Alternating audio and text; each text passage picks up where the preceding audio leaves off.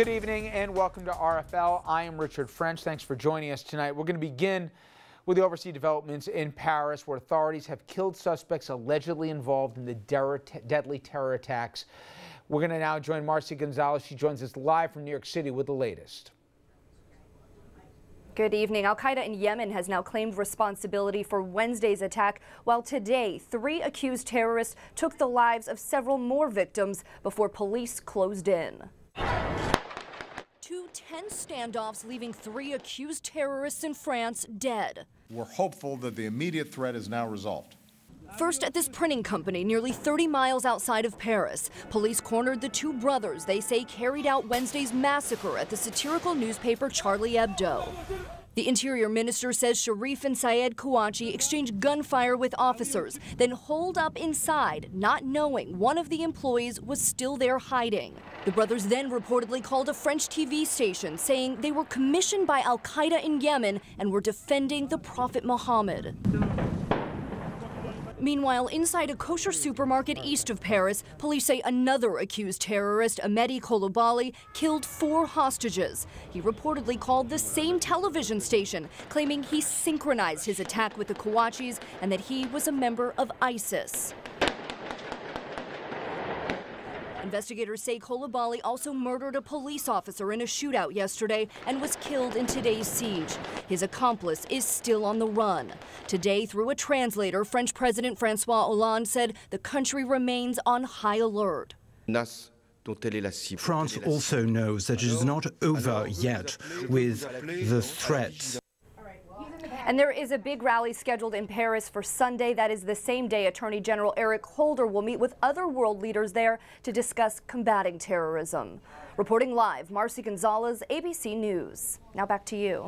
Thank you, Marci. And as we can see from the terror attacks, not just in Paris, but before in Madrid and Sydney, Australia, and even here on American soil, Western parts of the world hardly immune from vicious attacks that we once only saw in the Middle East. And today I spoke with Michael O'Hanlon, a senior fellow co-director with the Center for the 21st Century Security and Intelligence, about this and a number of other issues facing the 21st face of terror and also how the terror attacks have expanded throughout the globe.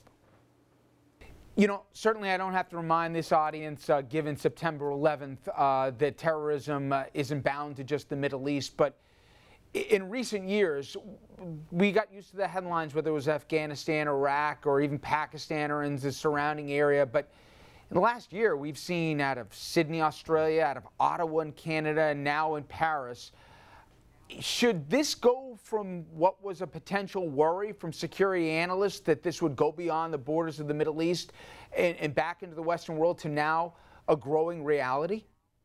Well, I think you framed the question. And I can give an opinion, but the only thing that's going to prove the answer is what happens in the rest of 2015 and beyond. Because it's true, as you say, we've seen a fairly rapid sequence of attacks, including in some places that had not yet been attacked or had been thought to be largely safe, and maybe Canada would be Exhibit A in that regard. Certainly, France has been the victim of terrorist action before, and uh, there's a long-standing pattern of close U.S.-French cooperation against uh, terrorism going back to the 1980s. Uh, and so I'm not surprised that France would be a target but clearly it's tragic what's happened this week in France. You know, we do have to keep in mind, though, I always, I always like to try to encourage people not to go too far in either direction with terrorism, not to poo-poo the threat, but also not to hyperventilate at a moment like this, because we've had many uh, attacks of this size and shape before uh, including, for example, the Fort Hood shooting in the United States in 2009. And this is sort of of a scale of the Boston attack. It's a few more fatalities, tragically, but, you know, it's not as if we've ever been innocent or free of these kinds of attacks in the post 9 11 era or even before. And you always have to ask is there a trend line that's getting worse? But there have been a lot of attempted attacks that have been stopped in recent years as well. And so I think we're actually just trying to understand what's sort of the baseline, what's the norm. And my guess is the norm is more worrisome than some people would like to believe, but it's actually not nearly as catastrophic and not headed in nearly as apocalyptic of a direction as some might worry at this kind of a moment. there are some commonalities, whether it's a perversion about what Islam called for, or whether it's there's training at the hands of Al Qaeda or Al Qaeda connected, uh, uh, you know, uh, operatives. Um, or just people that are disenfranchised um, from an Arabic background that don't feel that they fit in, uh, especially in countries that have toughening economies and there's a growing anti immigrant sentiment. Are there any parallels or anything that we can draw from this as you try to figure out how to make this less appealing to people who seem like they've got nothing to lose? Well, and I would even take your point one step further, by the way, and say that there are some similarities between these attacks and what's happened in Newtown and Oklahoma City and Virginia Tech. You know, it's not all about Islamic extremism. Mm-hmm. It's often deranged or angry or, uh, you know, somehow disenfranchised individuals, as you say. And quite often it's associated with this broader Islamist threat, but quite often it's individuals acting on their own, especially in the United States, where the threat of these kind of non jihadist attacks is still, I think, greater than the threat of what we just saw in Paris. Uh, I don't know how you come up with a systematic strategy. There are a number of things you have to try to keep doing. You try to keep underscoring your acceptance and admiration for Islam as a religion. You try to work on political reform and the peace process in the Middle East. You try not to paint any kind of Islamist as equally threatening and violent. And I think we need to actually be a little more open to groups like the uh, Muslim Brotherhood in Egypt, which is being squelched right now by uh, a government that we're supporting pretty strongly, and that may be some concern. But I don't think th- no, I don't think there is a single simple answer. It's a part of the world that has many hundreds of millions of underemployed and frustrated individuals. A lot of their governments and economies are not doing well. Uh, there's a fairly strong prevalence of extremism among a lot of the preaching uh, in a number of the individual uh, Muslim leaders. I think we can certainly encourage our Muslim friends to continue what most of them are already doing, uh, which is to remind their believers that Islam is not a violent religion, that these visions of martyrdom and 72 virgins in heaven if only you kill uh, infidels on earth. These are ridiculous abominations and perversions of Islam, and the religion is much greater than these kinds of twists uh, and distortions of what it's all about. You keep you, you, keep talking about that. You keep trying to find other people who can talk about it more effectively than we can.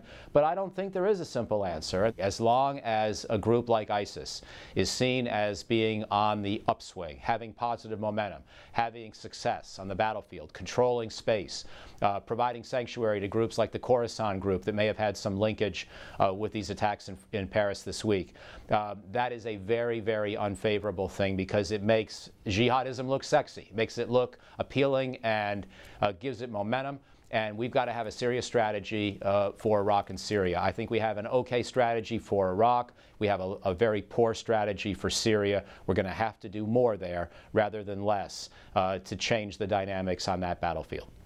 Michael, I even hesitate when I go to this question because I know there's so many holes in it and potential dangers if we even went down this road. But these two guys were identified, uh, not just by the French authorities, but by us as well. I mean, they were a terror watch list. They'd even gone through uh, the criminal system in France. Uh, they were on the uh, no-fly list as it related to the states. It seems that so many of these folks, when we go back, that there were warning signs.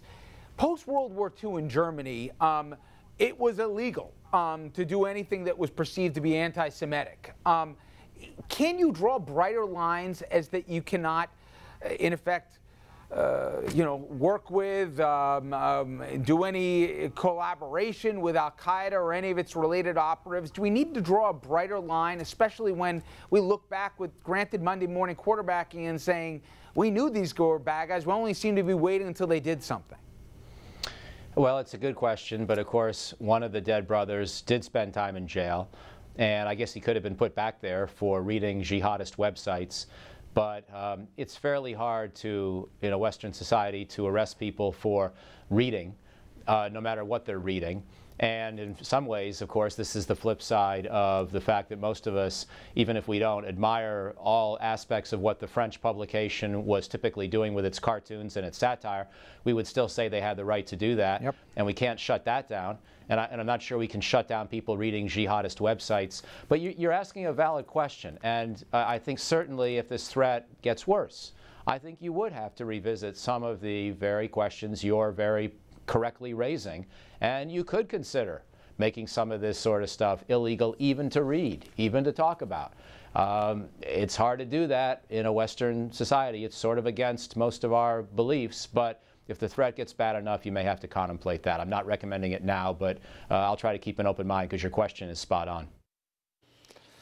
A little bit late in the program, uh, we'll be talking with a panel on the journalistic side of this, about the cartoons and about where the line starts and stops there, but also about the decisions American press uh, had to make in the aftermath, whether or not to show those cartoons, and they'll win on that. But when we come back, we'll come much closer to home first.